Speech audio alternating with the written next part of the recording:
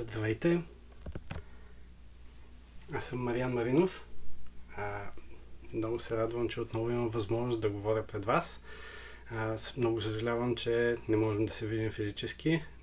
Наложи се да си променя плановете и да съм по-късно в България. Така че днес ще говоря ремонтли от Монреал с малка часова разлика. И така, а, кой съм аз? Мариан Маринов, директор в инжиниринг в Web Hosting Canada. Занимавам се с системна администрация от над 20 години. И днес искам да ви поговоря малко за Passkeys и как, как можем да ги имплементираме. А, първо, нека видим какво е Passkey. А, това е а, идея, а, при която а, вие няма нужда повече да а, мислите за юзернейми и за пароли и да имате а, уникални пароли за всеки един апликейшн или вебсайт.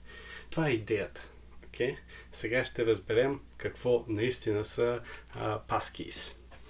А, Паски са много по-сигурни пароли, просто защото са рандомно генерирани големи стрингове, което означава, че а, имате много дълга парола, която е много трудна за brute force. Те са криптографски а, подписани, а, криптографски а, верифицируеми и а, вече имате възможност за наистина уникална двойка юзернейм парола за абсолютно всеки вебсайт или апликейшн. Това е изключително хубаво, но ще видим, че не е най-хубавото нещо. А, от друга страна, последното нещо, което ви дават паски, това са а, това е невъзможност да използвате един и същ юзернейм и парола а, за два различни сайта или дори за един и същ сайт. Ако искате да използвате една и съща парола, но с друг юзер. Това вече е невъзможно с Passkeys, ако имплементираме Passkeys. Реалността е малко по-различна. юзернеймите се налага да останат, поради простата причина, че а, компютърно генерираните стрингове а, са хубави за сигурността, но са изключително трудни за запомнене от хората. А, от друга страна, използването на а, passkeys не е толкова тривиално. Да го кажем така, а, би било много трудно да науча родителите ми или баба ми да а, а, използва а, поради тази причина и а, не виждате Passkeys а, на много места. А, самата имплементация е сложен процес, а, не е нещо, което а, доста хора разбират. А, и на, не на последно място имате а, много проблеми, които са репортнати а, последните месеци, свързани с това. Даже преди да започна да пиша презентацията, изключително кофти се получи в Hacker News автора на WebAuthn N Rust библиотеката каза аз пиша тази библиотека и все пак гаджето ми няма да ползва повече Passkeys. така че а, имаме проблеми, които трябва да решаваме в тази насока. А, защо реших да говоря за Passkeys? Защо точно Passkeys? А, преди няколко месеца в IRC автора на PeeringDB беше помолен да имплементира Passkeys за PeeringDB базата данни, защото доста от мрежовите администратори харесват идеята да могат да се авторизират с физически хардуерен ключ. Което е много готино, обаче самата имплементация, както казах, не е тривиална задача. И мен ми хрумна да разуча малко повече, тъй като аз съм запознат с Passkeys от няколко години, но като а, юзър, а не точно като имплементатор на Passkeys. И така тръгна идеята за тази презентация. Така, а, Passkeys а, има две части, а, сървърна и клиентска. И а, имплементацията на клиентската а, част а, може да използва хардуерен девайс, ще ви покажа няколко такива малко по-нататък в презентацията. Или iPhone Android устройство. Така, ако използвате iPhone или Android устройство, имате един неприятен проблем. Authentication Keys са записани в клауда. Ако този клауд го няма, нямате Authentication Keys. Ако нямате мрежа да се свържете до този клауд, нямате Authentication Keys. А, вие имате много лимитиран контрол върху какво има, а, какво можете да правите с тия passkeys. Вендора, а, който използвате, може да си изтрие, да изтрие вашите а, passkeys или да ви спре достъпа до а, тези а, passkeys, когато си пожелая. И да, повечето хора биха казали, това няма да се случи. Някой голям като Apple или Google няма да направи това нещо. Факт, че а, за последната година гаджето на имплементатора на а, WebAuthn а, на Rust два пъти се е загубила всичките passkeys. В Apple. А, Google се е случило на друг човек да а, лимитира достъпа до акаунта му, а, в, това се включват и passkeys. С това човека губи достъп и до всичките си места, където използва passkeys. Ако това е единствения му начин за авторизация, реално той губи достъп до всички тези места. Какъв е процеса на passkeys? Сега, тези две картинки тук а, показват а, а, първоначалната регистрация и после авторизацията. А, самия процес а, не е прост. И а, самия процес започва с това, че вие трябва да генерирате а, една двойка публичен и частен ключ, но трябва да ги генерирате на сигурно място. Това сигурно място може да бъде а, уникален а, хардуерно устройство, като а, някои от хардуерните ключове, които ще видим на края на презентацията, или телефон, iPhone, Android. Много добре, обаче това тук изглежда сложно. И да, то наистина е доста сложно. А, тук съм взаимствал от тяхната, тяхното а, обяснение. Аутентикатора обикновено е, да кажем, а, телефон, който а, вие можете да използвате за а, авторизация чрез а, Fingerprint, например. И така, клиента ви е браузъра. Браузъра инициира а, Registration Ceremony е описано тук. Реално правите request към application за регистрация. В този request а, вие питате application какво той поддържа от гледна точка на а, информация вътре в а, алгоритми и а, някой друга а, малко повече допълнителна информация. Така, след като получи тази информация в браузъра, той трябва да се допита до хардуерното устройство. Дали това ще ви бъде устройство хардуерен ключ или телефон, няма значение. Но а, клиента подава информацията, която е получил от апликейшена към а, нашия аутентикатор. Когато това се случи, а, аутентикатора вече поема и а, моли потребителя да верифицира себе си. На телефона това ще бъде вашия фингърпринт, на физическите ключове обикновено това е тъч достъп до ключа. След като това нещо се е случило, вашия хардуерен токен или телефон ще се погрижи да направи нова двойка публичен частен ключ, като изпрати на сървъра публичния ключ, а частния ключ го а, асоциира с а, информацията подадена в а, а, първата стъпка, където а, сървърът ни е подал, апликейшенът ни е подал малко информация. Това е само регистрацията. Това не е всичко. Авторизацията е още по-сложен процес. Отново започваме с браузъра. Браузъра се вързва към апликейшена, за да а, каже аз искам да започна а, авторизация. И в този момент апликейшена генерира а, уникален чалендж, който се подава обратно към а, клиента. Този чалендж обикновено подава и допълнителна информация, като а, client ID, което е генерирано на предната стъпка. А, тук, когато сме се регистрирали, апликейшена е записал едно client ID. Ще го видим това малко по-нататък в повече детайли. Така, значи имаме challenge, който, има, който е уникален и който има а, user data. това нещо се изпраща от клиента, нашия веб браузър. Веб браузъра го изпраща обратно до а, нашия хардуерен токен за авторизация.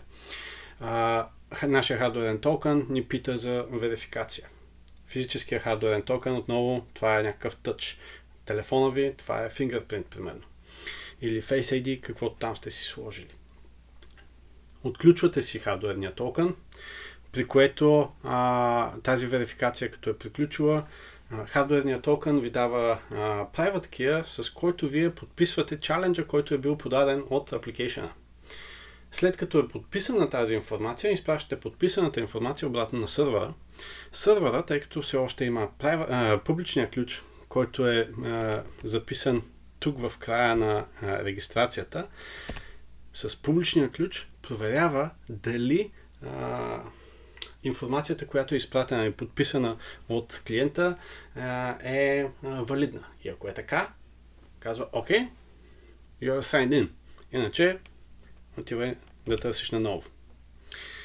Така, а, на бакенда, какво се вижда на сървъра, какво виждате, а, ние генерираме random challenge, който може да има expiration date. Мислете си за този а, random challenge като а, CSRF токен или а, за хората, които са запознати, в а, Challenge Response Authentication, това ви е чаленджа, който изпращате към отсрещната страна. А, при регистрацията, след като направите чаленджа, се прави, а, генерира уникално User ID. Много е важно да разберете, че User ID-то не е username. Username трябва да си го запишем отделно, но User ID-то това ни е уникален идентификатор, който ни дава а, B64 encoded random value. така че е, е а, а, голям стринг, който вие си генерирате. Колко голям, application дизайнера избира. След като а, вие сте изпратили а, тази информация, а, следващото нещо е а, вие да получите публичен а, ключ и user ID отново а, подадено от клиента и бакенда е длъжен да запише тази информация, за да може да верифицира в, последствие логини. Тук е важната част, че ние записваме публичен ключ, записваме user ID и username. Следващата ни стъпка е на какво се случва на, на фронтенда. А, реално повечето работа се случва в фронтенда изненадващо на факт, там е много, много по-трудно да свършите работата. А, всички устройства в а, всички браузъри са поддържани, а, но а, има някакви ограничения, които ще спомена по-нататък. А, самите библиотеки, които използват за авторизацията, са а, доста големички и за мен лично а, изключително досадно абстрактни, че да е трудно да можеш да напишеш две-три неща набързо. и тук ще се призная, че аз реших, че трябва да пробвам AI да ми генерира кода за нещо, което не познавам, което сега за, за първ път трябва да науча. И затова реших и отидох да питам чат GPT. Казах му, бе, искам да работя с а, Passkis, искам да ми напишеш нещо, а, искам да ми напишеш и фронтенда, и бакенда, първо да почнем с фронтенда. И така а, започна а, моята драма. А, горе-долу три дни по един час прекарах с чат GPT а, да се опитам да направя нещо по този въпрос и накрая просто се отказах. Защото това беше много, много голяма грешка. Такива глупости като код ми бяха представени, че си нямате идея. И само се лутах повече, отколкото трябва с предложенията на чат GPT. в крайна сметка, това, което направих, беше глупаво, но нещо, което сме правили от 90-те години насам. И то е да отида и да копирам от някъде нещо работещо за фронтенда. И отидох на този сайт weboutend.io, където има презентация за как това работи. И това, което направих, беше да отворя сорса на веб страницата и да копирам каквото ми трябва, за да може това нещо да тръгне да работи на моя сетъп и да мога да ви покажа презентация днес. ако на вас ви е смешно, да но продължим така. а, аз реших да направя имплементация на бакенда с а, PostgreSQL база данни. А, две таблици ми трябваха, една за challenges и една за credentials. А, може би чаленджите ще да бъдат по-добре в а, Redis или Dragonfly с auto-expiring keys, а, но просто за леснота оставих всичко в PostgreSQL. Uh, challenges имам ID, username, самия challenge и кога съм го създал този uh, challenge. Uh, credentials имам uh, ID отново, uh, sign count, user handle and uh, credential ID, public key. User handle, това ви е uh, username или имейла на uh, клиента uh, при регистрацията. Това не е uh, уникалното user ID. Реално, уникалното user ID ви е този credential ID тук, който е един голям стринг. И последното е публичния ключ. Sign count е нещо интересно. Passkeys ви позволява да предпазите въз... да предпазите връзката от една много неприятна атака и тя е когато имате някой по средата между вас и сървъра, той може да uh, копира данните, да ги запише на, на на своята машина и после просто да повтори абсолютно същата информация, за да се логне. Това нещо се нарича реплей атака и а, sign counter ви дава възможност, ако е имплементиран, защото не е задължително да го имплементирате, за да работи всичко, а, ако е имплементиран, ви дава възможност да се предпазите от тази атака, което е много хубаво. Другите а, методи нямат а, добър начин за предпазване от това. Така, а, след това реших да м- напиша бекенд имплементацията първо на PHP. Защо на PHP? Защото повечето вебсайтове са на PHP а, в интернет и просто е а, много разпространена технология. Избрах тази а, библиотека, а, препоръчана от ChatGPT първоначално, но след това потърсих и наистина има само две горе-долу читави библиотеки за PHP за WebAuthent и да, тази точно не тръгна. Няма да е, се опитвам да ви убеждавам, че това е, е невъзможен за е, решаване проблем. Не е така. Просто като не тръгна от първия път, реших да се направя на тъп юзър и да мина нататък.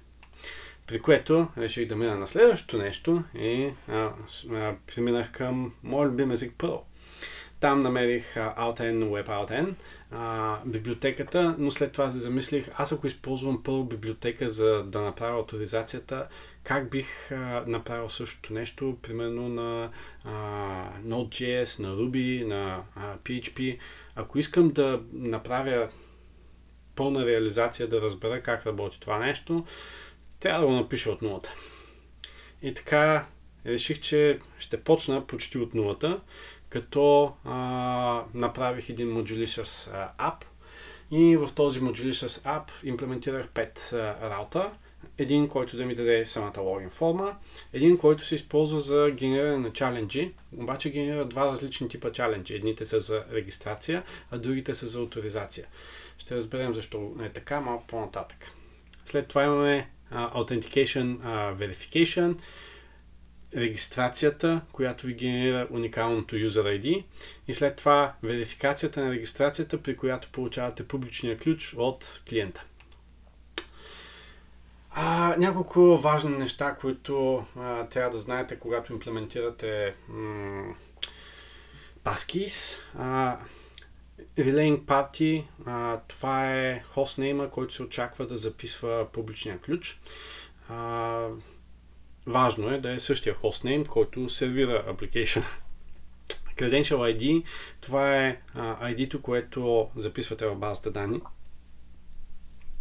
И Allow Credentials, сървъра в ето тази част, където имате Out Options, когато се генерира чаленджа, може да каже на не тук, при регистрацията, когато се генерира user ID-то, казва на клиента какви authentication механизми, разбирайте какви а, криптографски а, протоколи разбира, а, за да може да а, получи правилния а, публичен ключ. И така, на бекенда за регистрация първо отивате на Out Options, където а, сървъра ви казва какво се поддържа от, а, от него и ви генерира а, challenge. С този challenge отивате на следващия а, route, регистър, където а, вече а, се генерира user ID-то за а, вашия application от тук нататък.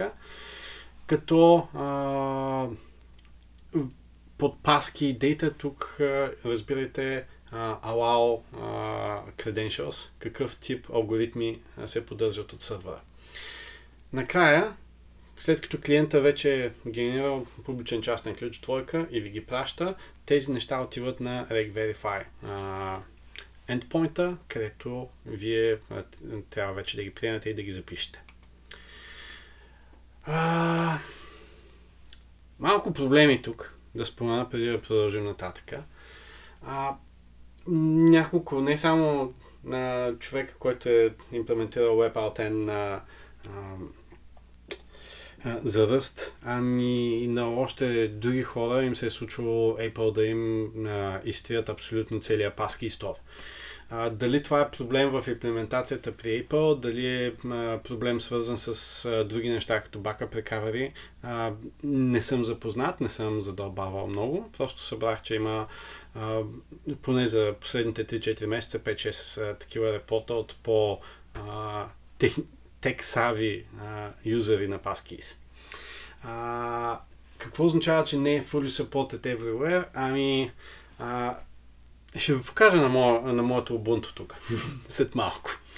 А, с хардверните устройства има а, много тъпи проблеми. Като, например, ако си извадите хардверното устройство и си го сложите обратно, а, трябва да рестартирате браузъра.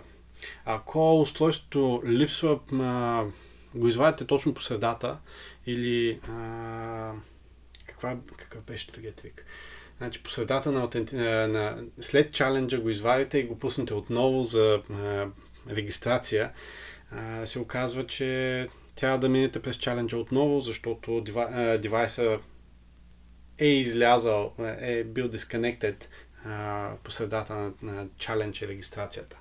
Същото въжи и за авторизацията с външните устройства е малко тегаво. С а, телефоните имате един тайм-аут пък. А, ако а, докато си търсите телефон, ако имплементацията изисква по-бързо да може да се реагира от клиента, в момента докато си търсите телефона, вие може да тайм-аутнете за регистрация или а,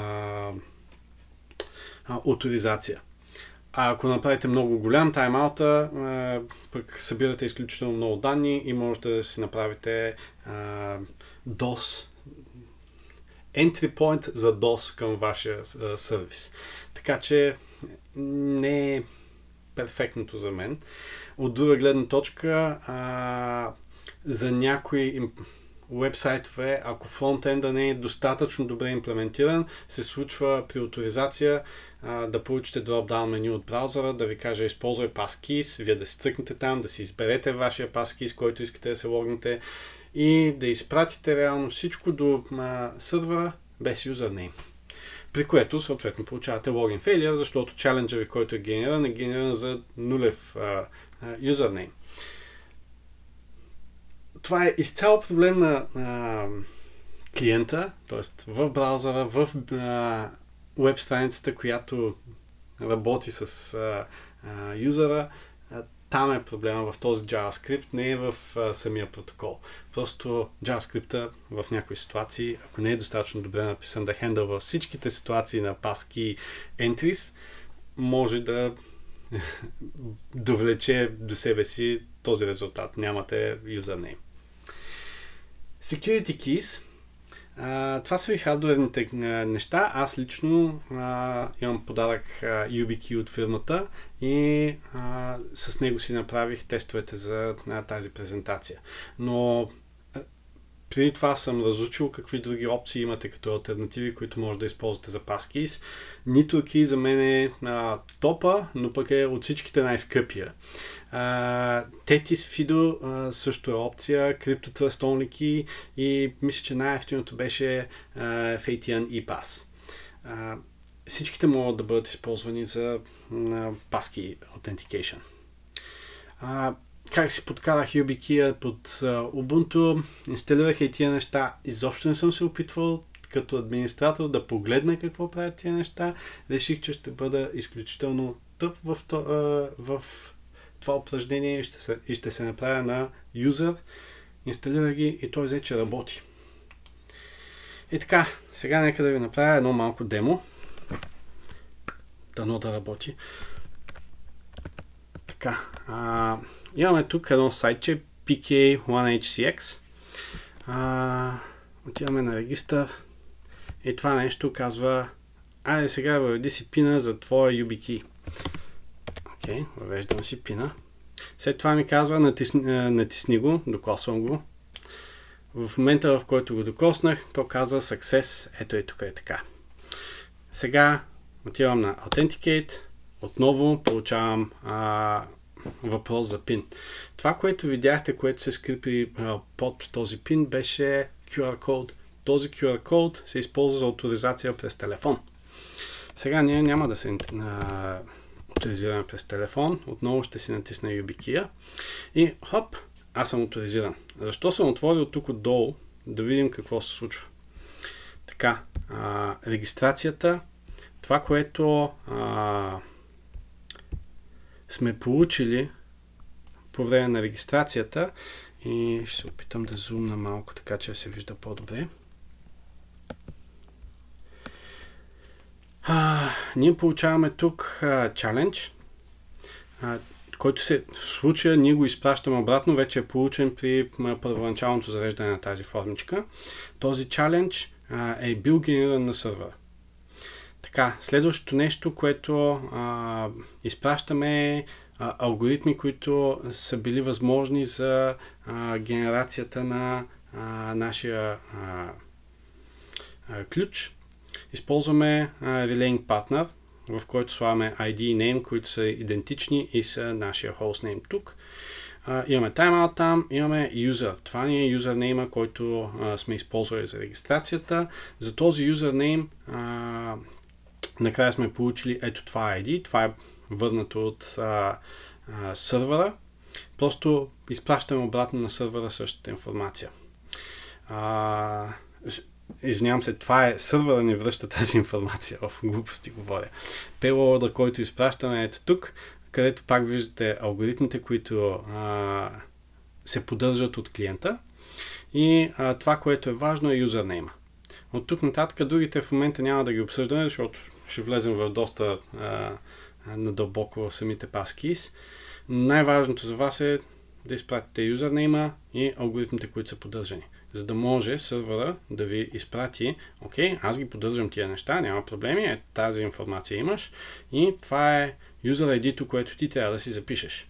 След което отиваме на regverify, при което а, ние изпращаме тази информация. Нека да видим информацията. Така, а, това, което а, виждаме тук е а, има един JSON, който е B64 encoded. Този JSON е реално подписания JSON. Имаме един публичен ключ, който е изпратен от а, а, клиента. Този публичен ключ ние трябва да си го запишем, защото с него от тук нататък ще верифицираме JSON. Така. Хоп. Сега казах ви, че има някакви неприятни неща. Но виждате тук, че вече съм минал през Out Options, т.е. в момента имам чалендж, който ми е а, а, върнат от а, сървъра. Така, ще изтрия всичко тук и ще му кажа дай passkeys. Окей. Okay. Ще го натисна това нещо. Тук виждате имаме няколко юзера а, регистрирани. Ще избера този. И е, е тъй като стане на демото. Да, тук трябваше да ни каже, че... Да, Е, това тук гърми, защото нямаме юзър. дали все още съм на конзолата там? А, да, ето го тук. Нямаме юзър. Изобщо подаден от а, клиента. И така, да, значи просто трябваше да го сложа да ехова, а не да умира, но няма значение. Ето сега да напишем hacked и да а, натиснем Authentication, да си отключим ключа и оп, Success. Защо отидохме на регистър? Не, Authenticate натиснах, натиснах грешния бутон.